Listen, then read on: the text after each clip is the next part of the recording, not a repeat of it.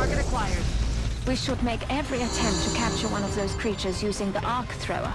There doesn't seem to be much left when we attack outright. The alien flight computer could prove to be extremely useful in our own research.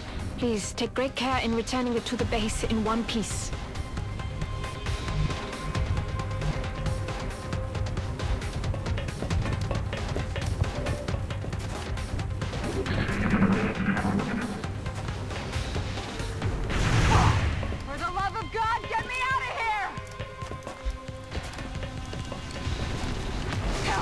Help!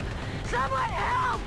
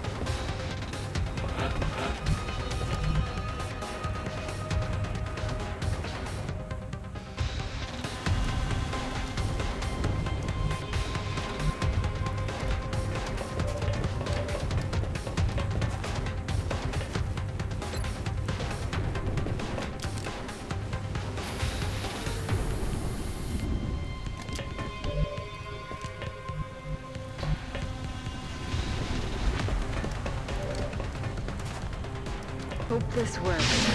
Excellent work! We'll begin analyzing this new artifact as soon as you return. Everything by the numbers.